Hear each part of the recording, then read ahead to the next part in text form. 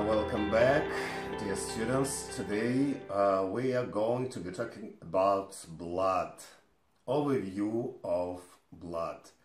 Uh, recall that blood is a connective tissue. Like all connective tissues, it's made up of cell elements and an extracellular matrix. The cell elements referred to as the formed elements include uh, red blood cells, RBCs, uh, white blood cells, WBCs, and cell fragments called platelets. Uh, uh, sometimes we call them thrombocytes. Uh, the extracellular matrix called plasma makes blood unique among connective tissues because it's fluid. This fluid, which is mostly water, permutually suspends deformed elements and enables them to circulate throughout the body within the cardiovascular system. Functions of blood. Uh, the primary function of blood is to deliver oxygen and nutrients to and remove wastes from body cells. But it is only the beginning of the story. The specific functions of blood also include defense, uh, distribution of heat and maintenance of homeostasis. Transportation. Uh, nutrients from the foods uh, you eat are ab absorbed in the digestive tract. Most of these travel in the bloodstream directly to the liver uh, where they are processed and released back into the bloodstream for delivery to body cells. Oxygen from the air you breathe diffuses into the blood which moves from the lungs to the heart, which then pump it out to the rest of the body. Moreover, endocrine glands scattered throughout the body release their products, called hormones, into the bloodstream which carries them to distant target cells. Blood also picks up cellular wastes and bioproducts and transports them to various organs for removal. Uh, for instance, blood moves carbon dioxide to the lungs for exhalation from the body and various waste products are transported to the kidneys and liver for excretion from the body in the form of urine or bile. Defense. Many types of WBCs protect the body from external threats, such as disease-causing bacteria that have entered the bloodstream in a wound. Other WBCs seek out and destroy internal threats such a cell with mature DNA that could multiple to become cancerous or body cells infected with viruses. When damage to the vessels results in bleeding, blood platelets and certain proteins dissolved in the plasma.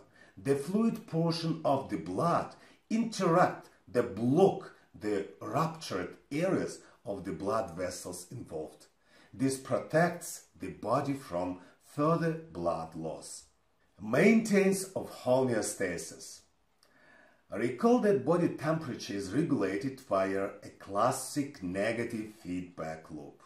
If you were exercising on a warm day, your rising core body temperature would trigger several homeostatic mechanisms, including increased transport of blood from your core to your body periphery, which is typically cooler. As blood passes through the vessels of the skin, heat would be dissipated to the environment, and the blood returning to your body core would be cooler. Uh, in contrast, on a cold day, blood is diverted away from the skin to maintain a warmer body core. In extreme cases, this may result in frostbite.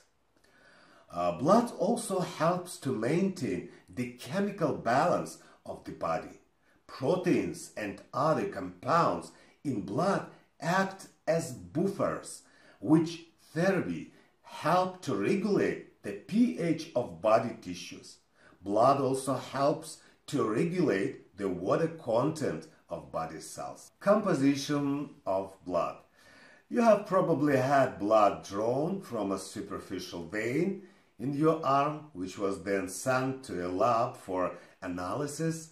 Some of the most common blood tests, for instance, uh, those measuring lipid or glucose levels in plasma, determine which substances are present within blood and in what quantities.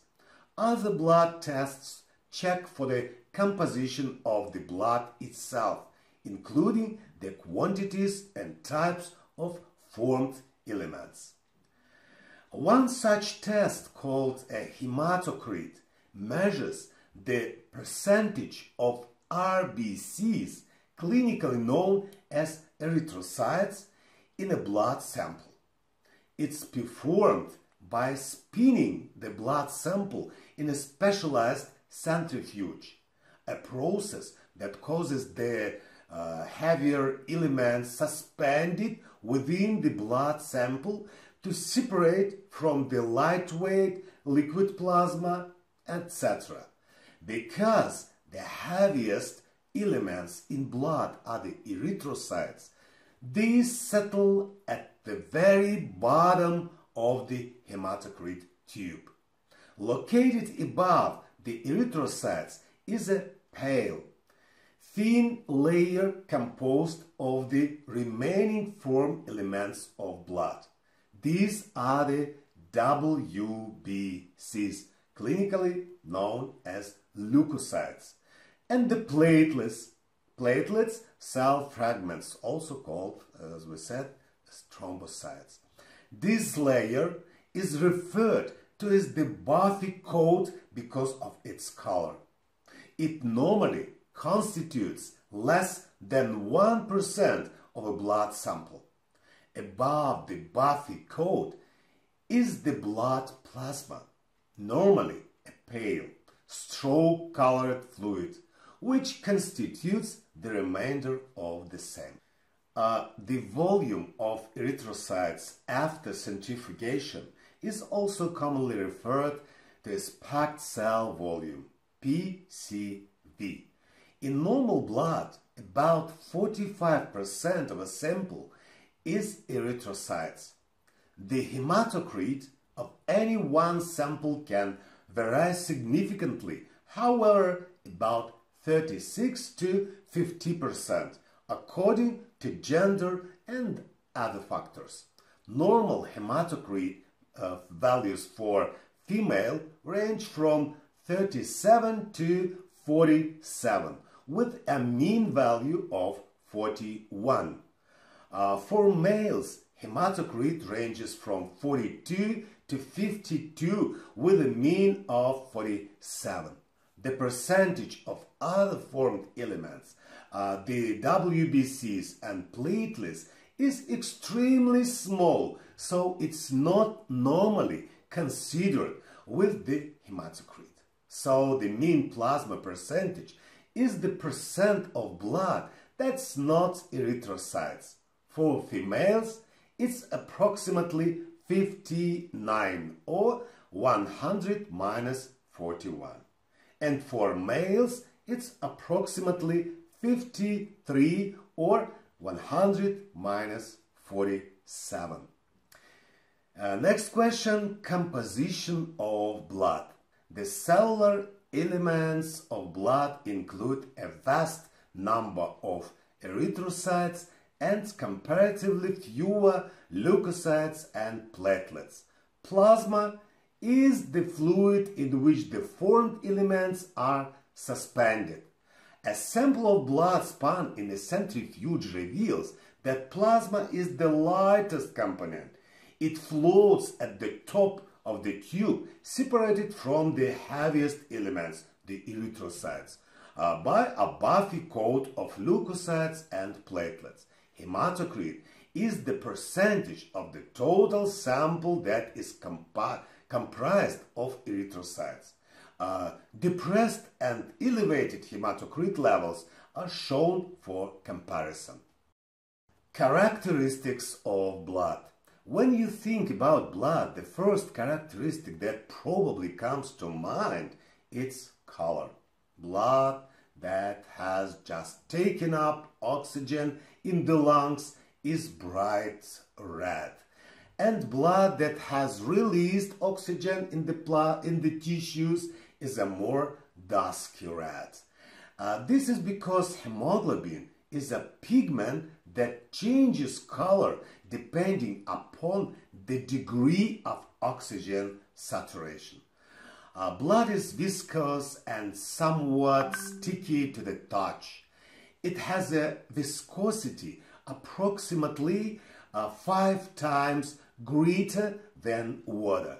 A viscosity, viscosity uh, is a measure of a fluid's thickness or resistance to flow and is influenced by the presence of the plasma proteins and form, uh, formed elements within the blood. The viscosity of blood has a dramatic impact on blood pressure and flow. The normal temperature of blood is slightly higher than normal body temperature. Although the surface of blood vessels is relatively smooth as blood flows through them. It experiences some friction and resistance, especially as vessels age and lose their elasticity, thereby producing heat. This accounts for its slightly higher temperature. The pH of blood averages about 7.4. However, it can range from 7.35 to 7.45 in a healthy person. Uh, blood contains numerous buffers that actually help to regulate pH. Blood constitutes approximately 8% of adult body weight. Adult males typically average about 5 to 6 liters of blood. Females average 4 to 5 liters. Blood plasma. Like other fluids in the body, plasma is composed primarily of water. Uh, in fact, it's about 92% water. Dissolved or suspended uh, within this water is a mixture of substances, most of which are proteins. There are literally hundreds of substances dissolved or suspended in the plasma, although many of them are found only in very, very small quantities. Okay? So, plasma proteins. About 7%, as we said, of the volume of plasma, nearly all that is not water, is made of proteins. This includes several plasma proteins, proteins that are unique to the plasma, plus a much smaller number of regulatory proteins, including enzymes and some hormones. Uh, the three major group of plasma proteins are as follows. First, albumin. Albumin is the most abundant of the plasma proteins manufactured by the liver. Albumin molecules serve as binding proteins transport vehicles for fatty acids and steroid hormones. Recall that lipids are hydrophobic, however, their binding to albumin enables their transport in the watery plasma. Albumin is also the most significant contributor to the osmotic pressure of blood. That is, its presence holds water inside the blood vessels and draws water from the tissues across blood vessel walls and into the bloodstream. This in turn helps to maintain both blood volume and blood pressure. albumin normally accounts for approximately 54% of the total plasma protein content. Uh, the second most common plasma proteins are the globulins. A heterogeneous group, there are three main subgroups known, known as alpha, beta, and gamma globulins. Uh, the alpha and beta globulins transport iron, lipids, and the fat-soluble vitamins A, D, E, and K to the cells. Uh, like albumin, they also contribute to osmotic pressure. The gamma globulins are proteins involved in immunity and are better known as an antibodies or immunoglobulins. Although other plasma proteins are produced by the liver, immunoglobulins are produced by specialized leukocytes known as plasma cells. The least abundant plasma protein is fibrinogen. Like albumin and the alpha and beta globulins, fibrinogen is produced by the liver. It's essential for blood clotting, a process described later in this lecture, maybe next our lecture. Uh, fibrinogen accounts for about 7% of the total plasma protein volume. In addition to proteins, plasma contains a wide variety of other substances. These include various electrolytes such as sodium, potassium and calcium ions, dissolved gases such as oxygen, carbon dioxide and nitrogen, various organic nutrients such as vitamins, lipids, glucose and amino acids, and metabolic wastes. wastes. Uh, all of these non-protein solids combined contribute approximately 1% to the total volume of plasma. Uh, that's it for today, dear students. Good luck. See you later.